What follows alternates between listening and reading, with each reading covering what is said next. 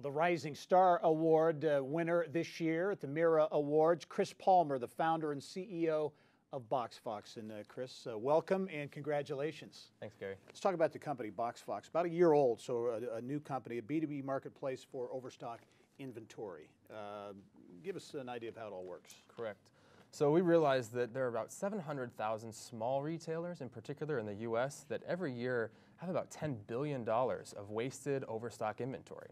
So we wanted to create a marketplace for that. So BoxFox gives retailers a way to appraise the value of their inventory, similar to the way that Kelley Blue Book works for cars, as well as to sell it to other companies, usually other retailers or resellers. Yeah. So really, your niche is really these these smaller retailers who don't have don't have the resources or the options to get it done. Precisely. Yeah. Mm-hmm. Talk about growth. How how has the the company been able to grow?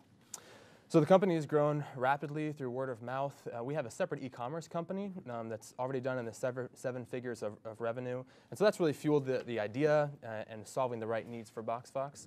And uh, we just signed three new clients this week, so we're growing well. You're a young entrepreneur, growing technology, growing a business in Indiana. Been a big focus on entrepreneurship and innovation and those types of things. Has Indiana become a place where a young guy or gal can start can start a technology company? Without a doubt. All the resources are here and after having traveled to the West Coast and I actually spent the last eight months in South America in Santiago, Chile. So I've been around the world well enough to know that Indianapolis has everything we need and it's an exciting time. I'm glad to be here. Great. Well, it's great young entrepreneurs like uh, Chris Palmer that uh, give us uh, hope for the future in Indiana, the Rising Star Award winner and the founder and CEO of BoxFox. Chris, congratulations. Thanks, Gary. All right.